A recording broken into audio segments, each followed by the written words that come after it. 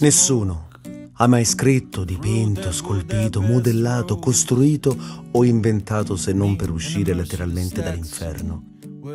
Soltanto l'arte spazza la nostra anima dalla polvere e dal tedio quotidiano, dalla schiavitù dei desideri sempre più mutevoli. E la creatività ti permette di fare degli sbagli. Quando si crea un'opera, si continua un sogno, si opera la vita e si apre una porta nell'oscurità del tempo. Anche a teatro, lì si è immortali. Tutto è finto, ma niente è falso. Il teatro non è il paese della realtà. Ci sono alberi di cartone, palazzi di tela, un cielo di cartapesta, diamanti di vetro, oro di carta stagnola, il rosso sulla guancia, un sole che esce da sottoterra. Ma è il paese del vero.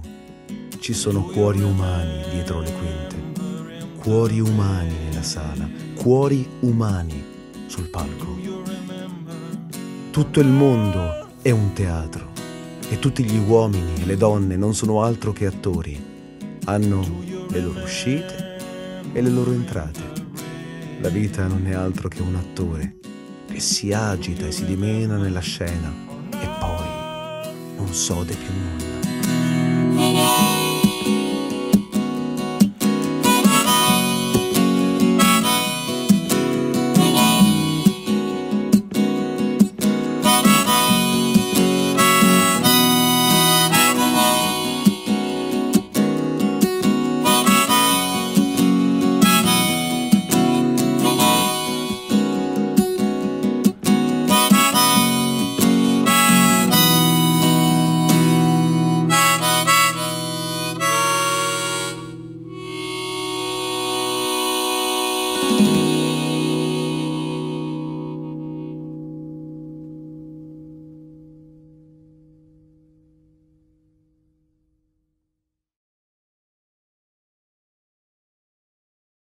L'Umbria è un mondo intero, un continente, non una piccola regione d'Italia.